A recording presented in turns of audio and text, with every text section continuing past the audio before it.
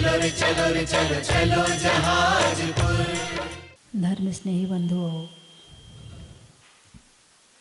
जब एक व्यक्ति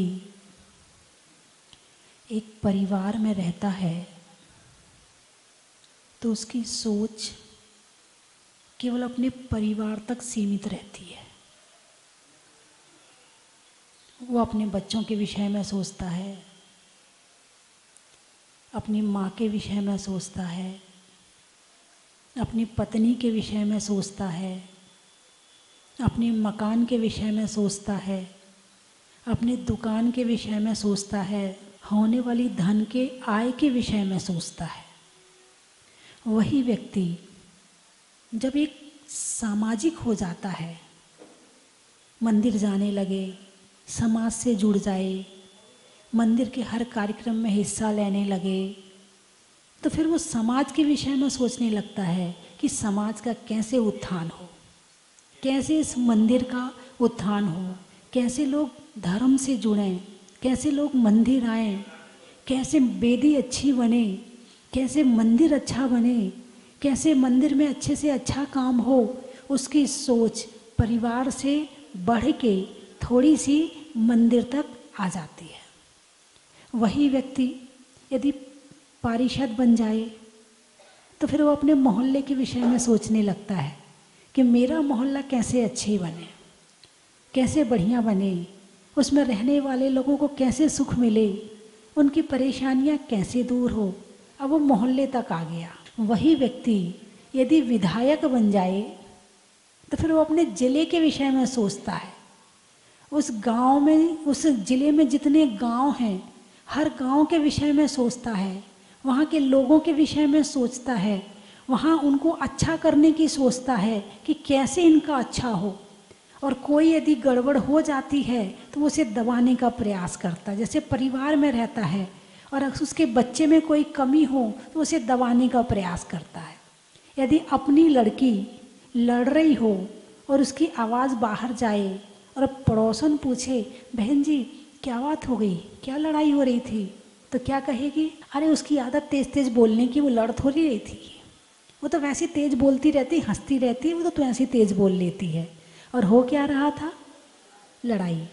और पड़ोसन की बेटी, यदि तेज तेज बोल रही हो, लड़ ना रही हो तो क्या कहोगे?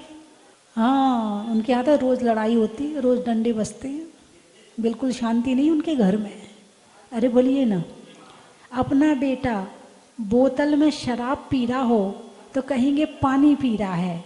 और दूसरे का बेटा, पानी पी रहा हो। तो क्या कहोगे? शराब पी रहा है। यानी दूसरों की कमी उघाड़ते हैं और अपनी कमी ढांकते हैं, है ना? जब वही व्यक्ति सामाजिक हो जाता है तो समाज के गुणों को उघाड़ता है और समाज की कमियों को ढांकता है। वही व्यक्ति जब मोहल्ले का हो जाता है तो मोहल्ले की कमी ढांकता है और और मोहल्ले की कमी उघाड़ता अरे वो वो मोहल्ले वाले तो बहुत खराब है, बहुत लड़ाकू है। अरे उस मोहल्ले वाले, उसका पारिषद बहुत खराब है। अरे वो बहुत खराब है। यानी दूसरे में कमी नज़र आती है, जिसको हमने अपना समझा है।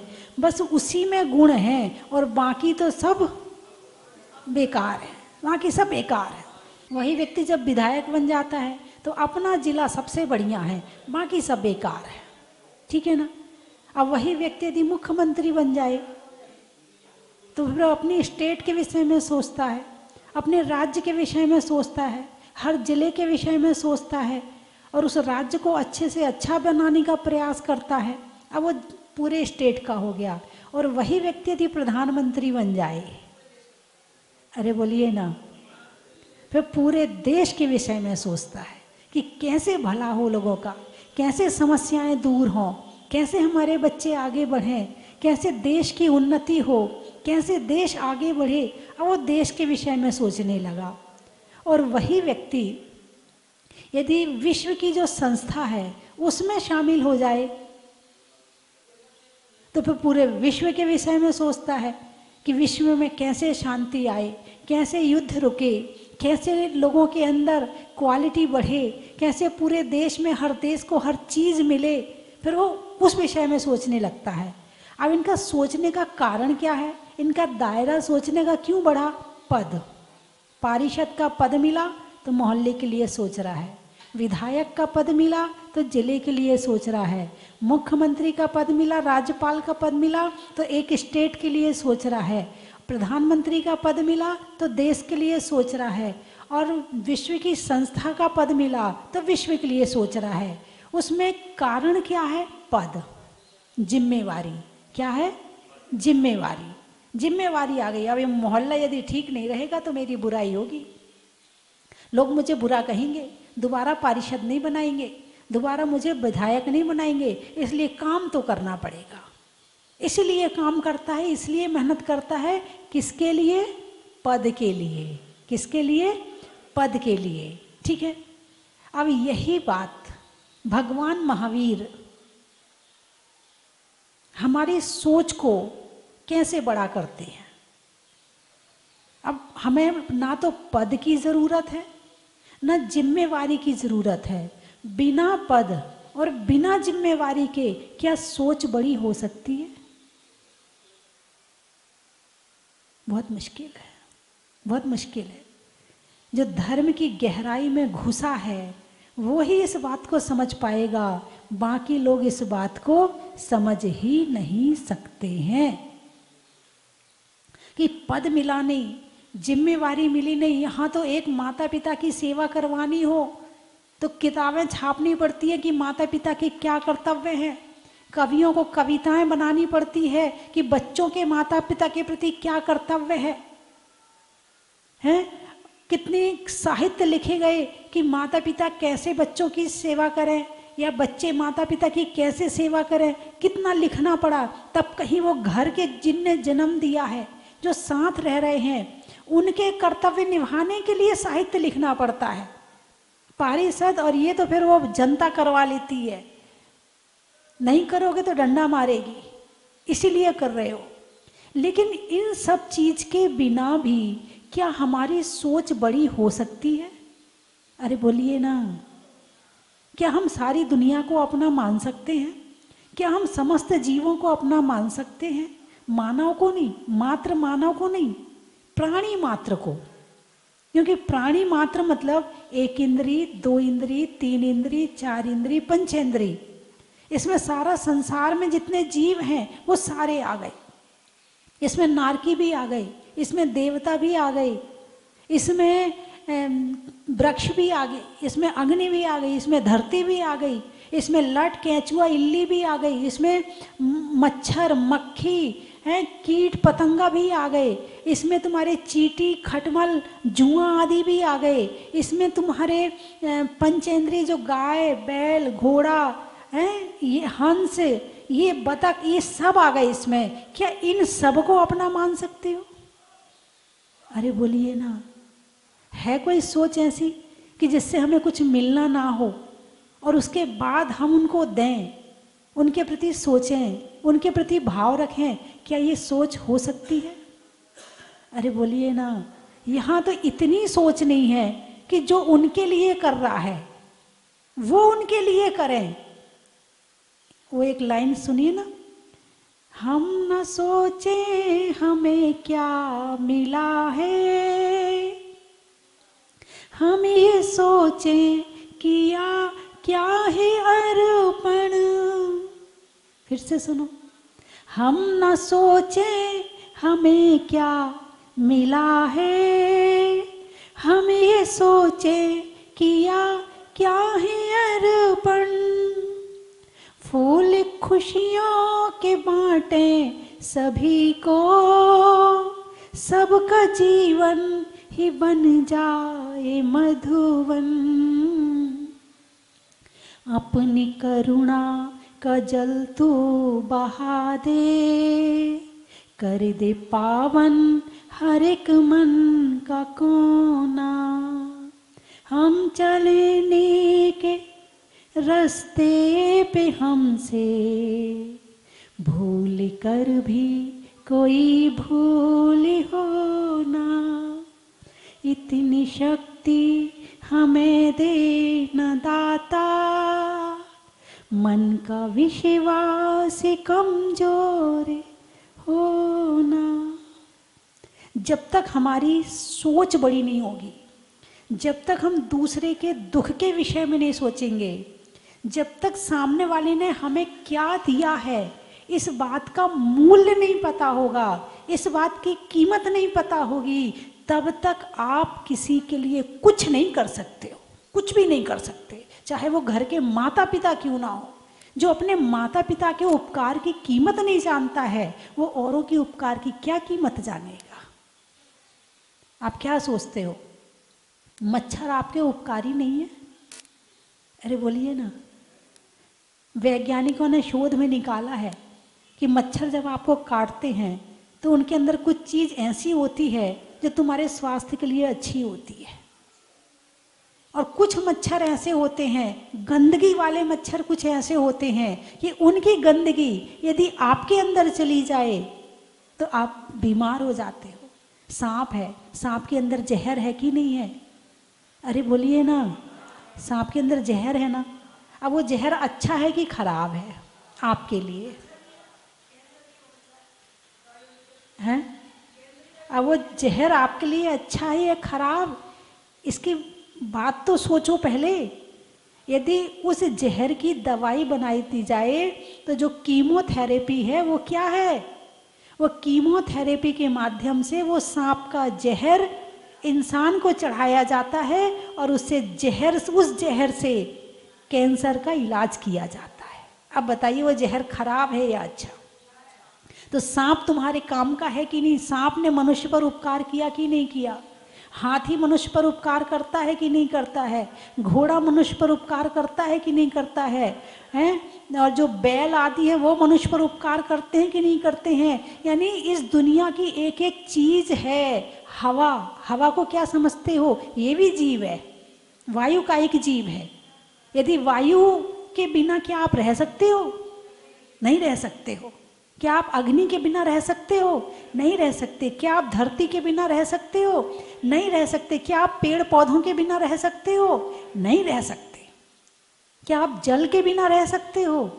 नहीं रह सकते। इस जीवन को जीने के लिए अनंत जीव अपना खुद का घात करते हैं, तब कहीं जाकर तुम्हें जीवन मिलता है। अनंत जीवों ने अपना जीवन खत्म किया, तब तुम्हें ये जीवन मिला और इस जीवन का तुम क्या उपयोग कर रहे हो?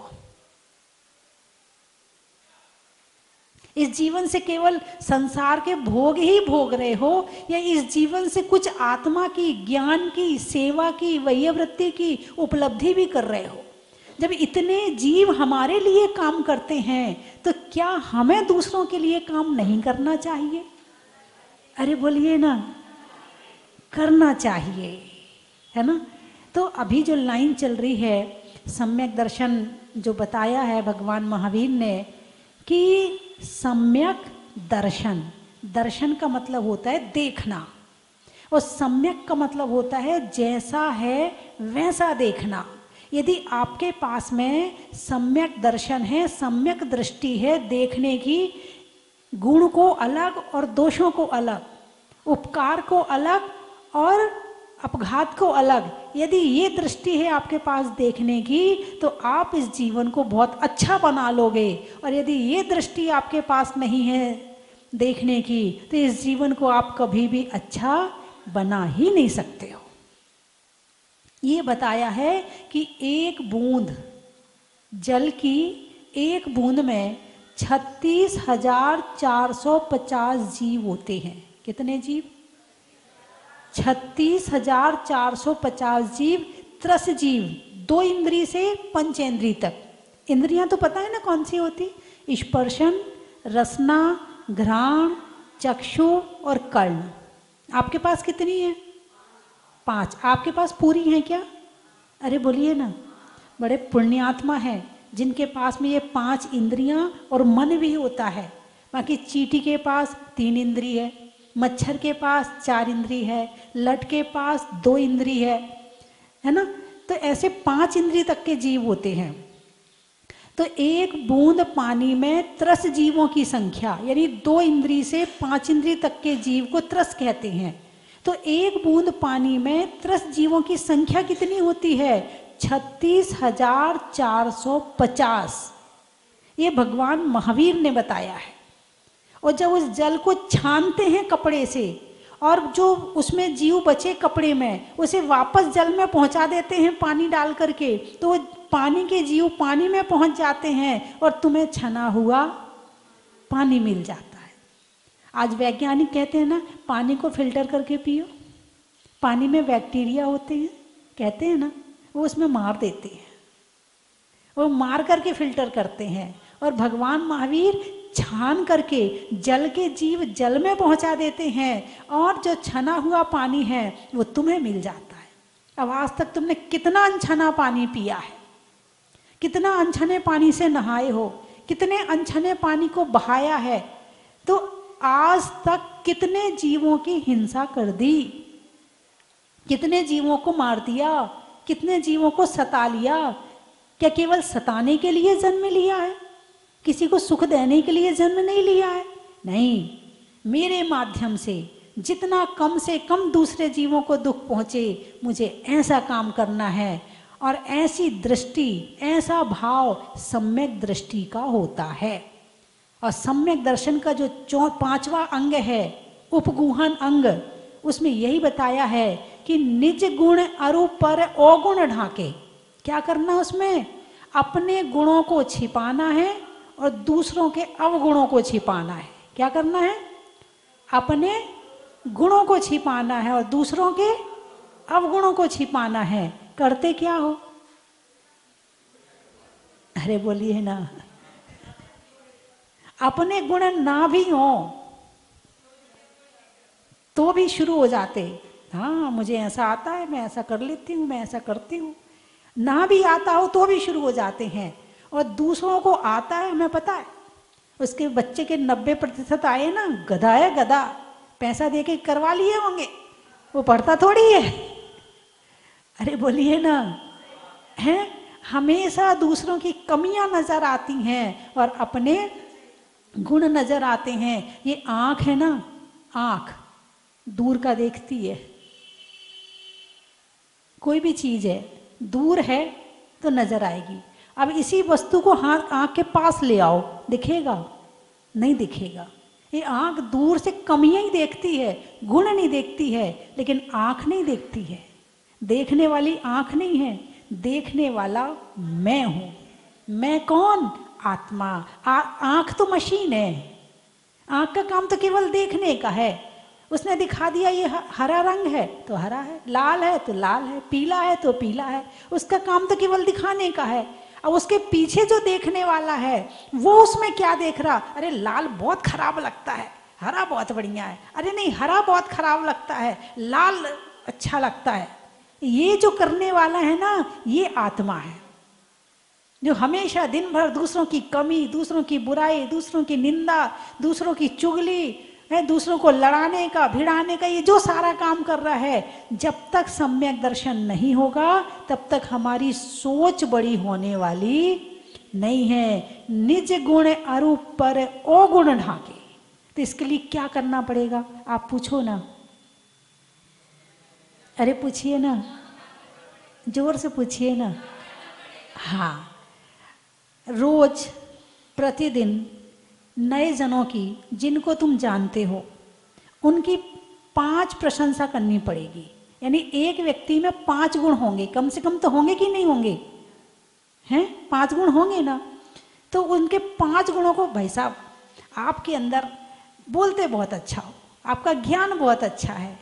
आपका ये काम बहुत अच्छा है। रोज पाँच लोगों की प्रशंसा करो। क्या करना है? नियम ले लो। पाँच लोगों की प्रशंसा करेंगे। और ये प्रशंसा की शुरुआत घर से। कहाँ से शुरू करनी है? क्योंकि सबसे ज़्यादा कमी किसमें नज़र आती है? अपने घर वालों में नज़र आती है। सबसे ज़्यादा बुरे वो ही हैं। ऐसा नहीं करते तुम हमारे लिए, ऐसा नहीं करते तुम, आजकल के बच्चे, तुम अच्छी मम्मी नहीं हो, तुम अच्छे पापा नहीं हो, मुझे मोबाइल नहीं दिलवाते हो, मुझे कपड़े नहीं दिलवाते हो। अपने मम्मी पापा को सबसे ज़्यादा बुरा बना रखा है। तो सबसे पहले किसकी प्रशंसा करनी है? मम्मी पापा की। उसके बाद घर में कौन है? भाई, बहन, और भी जने होंगे। फिर उनकी प्रशंसा करो। उसके बाद उनकी प्रशंसा करना है जिनसे तुम्हारी लड़ाई है। बोलिए हाँ या नहीं? उनके अंदर गुण होंगे कि नहीं होंगे? हैं? गुण तो हर वस्तु में है, हर चीज़ में है। यदि गुण से रहित दुनिया की कोई चीज़ है ही नहीं है। एक दिन मैं बैठी थी। गर्मी के दिन थे, छत पर बैठी थी। थोड़ा सा गले में कफ आया तो किनारे में मैंने निकाल दिया। कफ निकाल के मैं आगे थोड़ी दूरी बैठी थी। अचानक मेरी नज़र उस तरफ़ गई तो चीटियाँ लग गई उस पर। क्या लग गई? चीटियाँ। और थोड़ी देर में चीटियों का झुंड उसके ऊपर आ गया। और सारा कफ साफ़। अब बताइए, कफ दोष वाली चीज़ है कि गुण वाली चीज़ है? तुम्हारे लिए दोष वाली होगी, क्योंकि दोषग्राही दृष्टि है।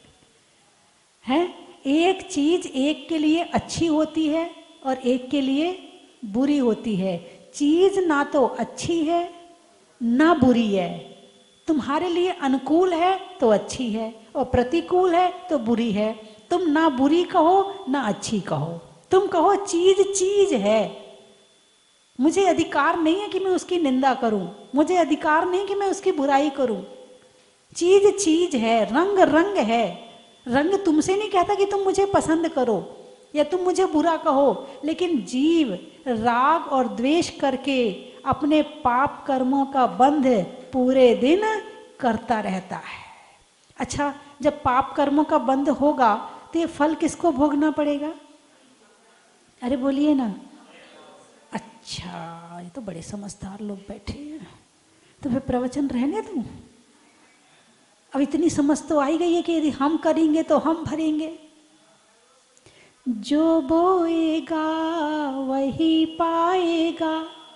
जो बोएगा, वही पाएगा। तेरा किया आगे आएगा। सुख दुख है क्या? फल कर्मों का। जैसी करेनी, वैसी भरेनी। जैसी करेनी, वैसी भरेनी। जब पता है तो इस संसार से फूल फूल चुन लो और कांटे कांटे छोड़ दो। सामने वाले की कमी देख करके जैसे धोबी है, धोबी का क्या काम होता है? अरे बोलिए ना, कपड़े धोना काम नहीं होता, मैल धोना काम होता है। कपड़े का मैल निकाल लेता है और साफ़ कपड़ा दे देता है। अब हमने सामने वाले की कमियाँ देखी तो हमने क्या देखा? अरे बोलिए ना, सामने वाले की कमियाँ देखी तो हमें क्या दिखा? मैल दिखा और हमने सामने वाले की कमियाँ उसको बता दी कि भाई तो दूर कर ले तो हमने क्या धोया? वो एक वो, दो लाइनें आती ना, पहले पढ़ी हैं जल बिन साबुन बिना, निर्मल करे सुबह रहीमन। निंदक नियरे राखिए, क्या है? निंदक नियरे राखिए, आँगन कुटी छबाए, बिन पानी साबुन बिना निर्मल करे सुबह यदि कोई हमारी कमी बता रहा है तो समझना कि वो बहुत बड़ा शुभ चिंतक है हमारा, लेकिन सहन नहीं होती। कोई बता तो दे कमी। तू अपनी देख, मेरी मैं देख लूँगी। तू जान अपनी, मैं निपट लूँगी। मुझे मत बताया कर मेरी कमी, मैं जानती हूँ, मैं कैसी हूँ। तू मेरे से ज़्यादा खराब है। बोलिए, कोई अपनी कमी सुनना बर्दाश्त करता है? नहीं करता है, नहीं करता है। कोई मूर्ख होगा, लेकिन कोई मूर्ख कह दे तो सहन नहीं करेगा।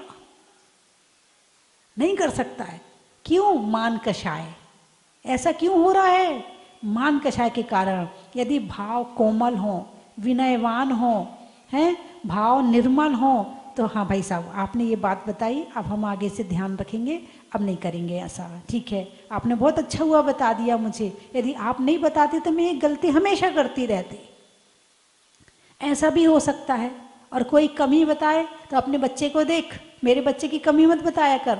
हाँ आजकल कोई किसी के बच्चे की कमी बता दे कि, बहन जी, ये आपका बच्चा ना वहाँ लड़ रहा था और वहाँ पर खूब लड़ाई भिड़ाई कर रहा था, ऐसा कर रहा था। ठीक है ठीक है, मैं देख लूँगी। तुम अपने बच्चे को देखो, वो भी लड़ता है। कोई अपने बच्चे की भी कमी नहीं सुनना चाहता है।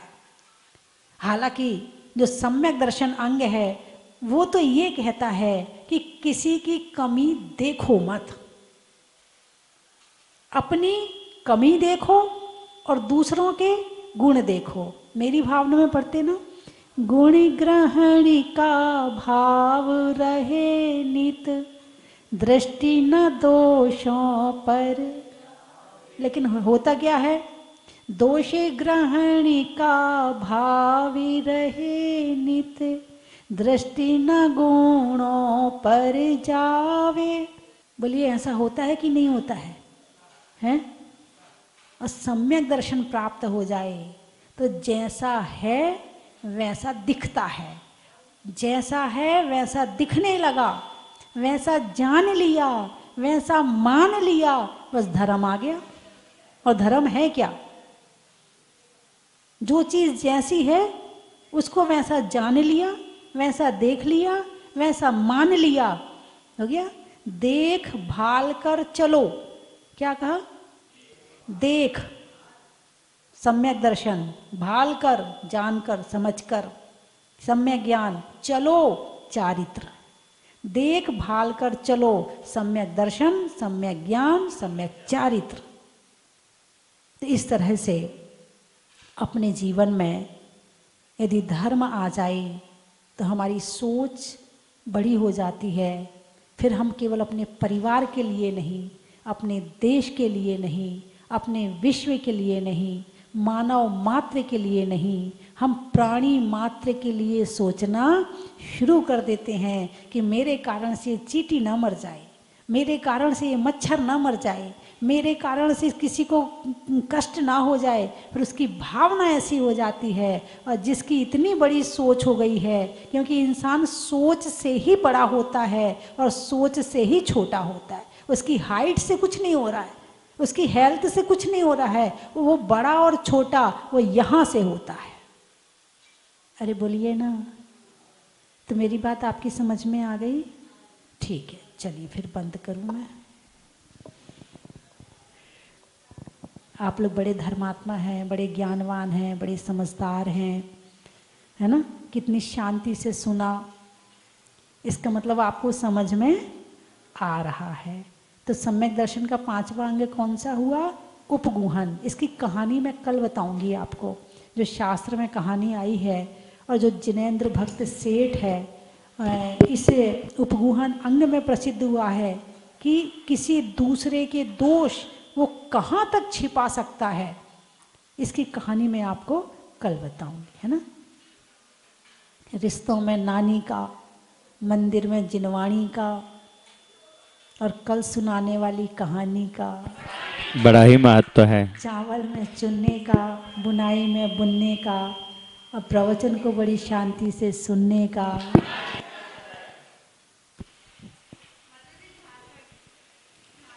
झारखंड? है? झारखंड में कहाँ से हो? बोकारो? अच्छा। बोकारो? Steel city. अच्छा ट्रेन में टीटी का घर में बेटी का और आने वालों में Jharkhand Bokaro steel city. Steel city का। बड़ा ही महत्व है। बरेली अच्छा। निकालने में रैली का। तेल निकालने में तेली का। और झुमका वाली बरेली का।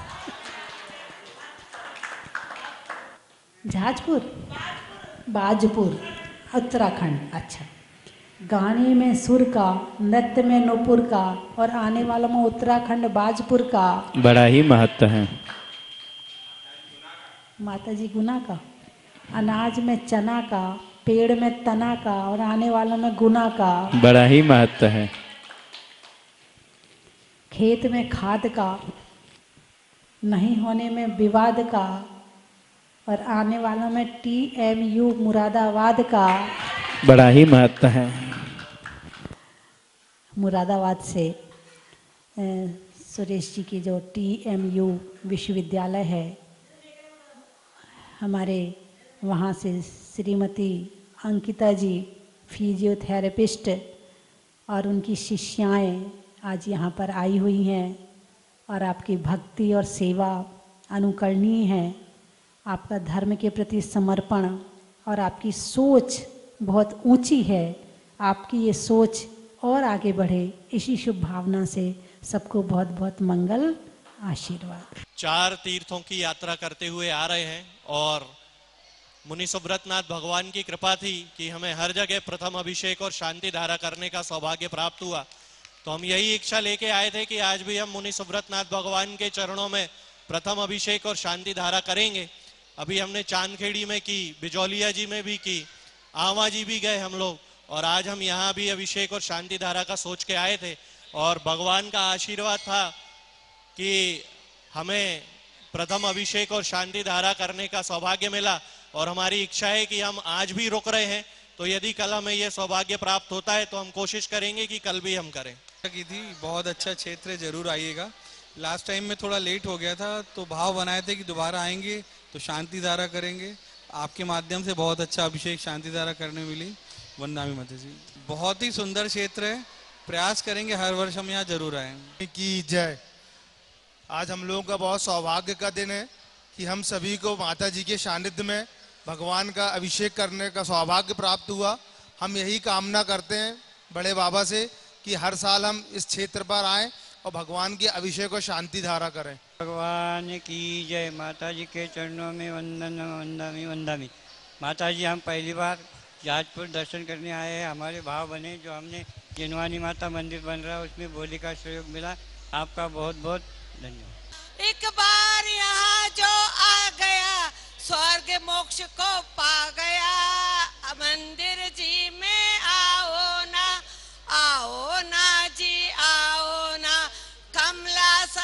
नाथ विराजे आ भक्त ये करते निश दिन तेरा जाओ। सुंदर प्रभु मेरे गुरु, देख नज़र रुक जाती है, पलक न झपक पाती है। मंदिर जी में आओ ना। को जय जिनेन यह पावन भूम, स्वस्ति भूम, इसकी कण कण में मेरा आत्मा बसी हुई है।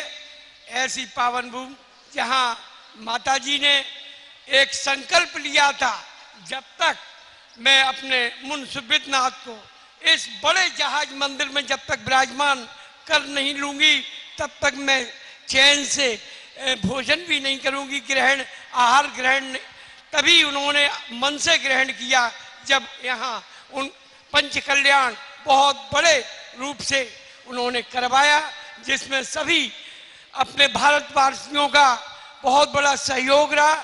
ऐसी पावन स्वस्ति भूषण माता जी को मेरा बार बार बंदामी बंदामी बंदामी। सौभाग्यमल जैन केलवाड़ा मैं 2008 से माता जी से संपर्क में हूँ। जब से राजस्थान में मा, माता जी आए केलवाड़ा के आए थे दो दिन हमारे वहाँ रुके थे। जब से मैं इनके संपर्क में हूँ फिर तेरह से तो और ज़्यादा संपर्क में आ गया। जय जिनेन्द्र। सभी बहनों से मेरी एक ये विनती है सभी लोग रेस्टोरेंट और होटल वगैरह सब करते हैं लेकिन है ये बस की भावना भी बहुत अच्छा दान है। किसी को यात्रा कराना ये सब चीज़ों पे भी ध्यान दें क्योंकि हर कोई घूमना फिर और माता जी ने मुझसे पहली बार जब मैं इधर आई थी जहाजपुर तो माता जी ने मुझसे बोला भी था अब कभी आना तो बस लेके आना। पता नहीं मैं ये सौभाग्य कि मैं खुद भी नहीं बयान हाँ माता जी का ही आशीर्वाद है कि मैं आज ये बस लेके आ पाई। और सबसे पहले मैं जहाज़ मैं गई थी सबसे पहले, और क्या नाम है, कंपिल जी, उसके बाद यहाँ स्टार्ट किया। अब मैं चाहती हूँ आगे भी ऐसे ही मैं करती रहूँ। आई सुबह घड़ी आई, लहर खुशी की छाई। आई रे आई सुबह घड़ी आई, लहर खुशी की छाई। झाजपुर के मुनि सुव्रत कर दर्शन कर हर साई, हो जी, हो हो हो हो जी, हो हो हो। यहाँ से जाने का मन भी नहीं हो रहा है। सोचा था हमेशा टीवी में माध्यम से ही देखते हैं, लेकिन ये आज आज हकीकत में देख के इतना मन हर्ष हो रहा है कि कुछ समा ही नहीं रहा मन में। बोले देवादेव के जरार श्री मुनि सुब्रतनाथ भगवान की मुनि नाथ भगवान ऐसा आशीर्वाद दे कि हर साल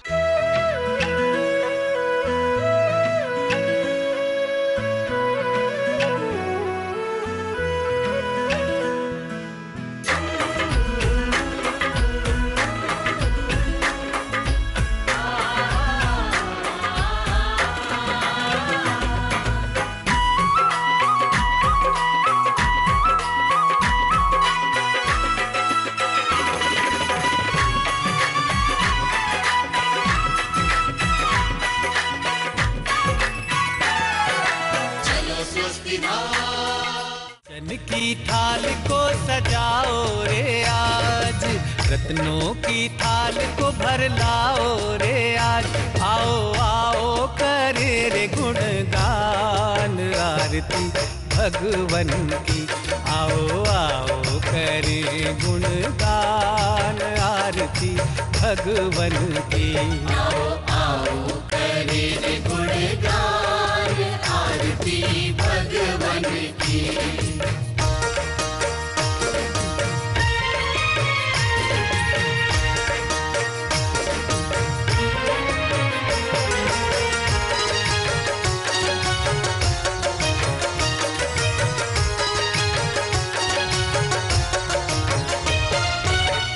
पिता सुमित्र के राज दुलारे माँ पद्मा जी के नैनों के तारे। पिता सुमित्र के राज दुलारे। अपने इस मानव भव को सफल बनाने का आपके जीवन में आया है अभूतपूर्व अवसर। स्वस्ति धाम प्रणेत्री परम विदुषी लेखिका भारत गौरव आर्यका श्री स्वस्ति भूषण माता जी की पावन प्रेरणा एवं मंगल आशीर्वाद से मध्य प्रदेश की धन्य धरा पर स्थित सिद्ध क्षेत्र सोनागिर के पवित्र पर्वत पर बन रहा है भव्याति भव्य सहस्त्रकूट जिनालय। आप अपने व अपनों के नाम से एक प्रतिमा अथवा एक से अधिक प्रतिमाएँ विराजमान कर सहस्त्र पुण्य के भागीदार बने।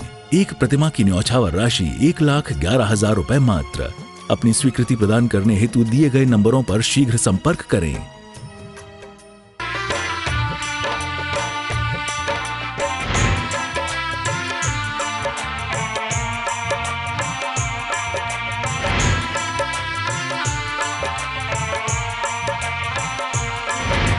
चलो रे चलो रे, चलो चलो रे चलो रे, चलो चलो जहाज़ को